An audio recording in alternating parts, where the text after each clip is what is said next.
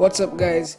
Just in case your battery died or for some strange reason you had to do a reboot on your iDevice, that's what's causing the Cydia crash but no need to worry, I have a simple fix to solve that issue.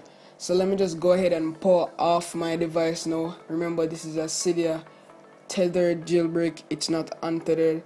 So if you guys shut down your phone or if a tweak causes a reboot then this issue will occur. When you're trying to open the Cydia application it will just crash jump back out. If you go in again it just crash. And I see a lot of you guys asking how can I fix this? What did I do wrong? But let me give you a tip guys. Don't let your battery run out or if there's a tweak you enabled and it says reboot do not reboot. Or if you do reboot just follow these steps to help fix your issue.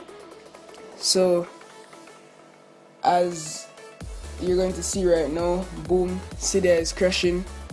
It's just jumping out. All you have to do is just launch the PP app hit OK touch inside the blue circle and then wait 10 seconds max. Lock your device.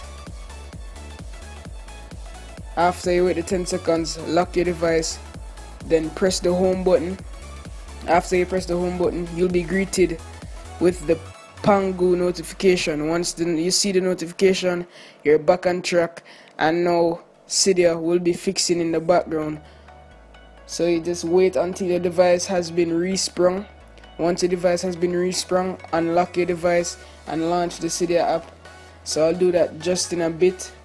And guys, as I launch the Cydia app, you see that it's loading now anybody that is on 9.3.2 download TIFF disabler. I leave it down in the description. Download that ASAP so peace on the streets. Like this video subscribe comment and always look more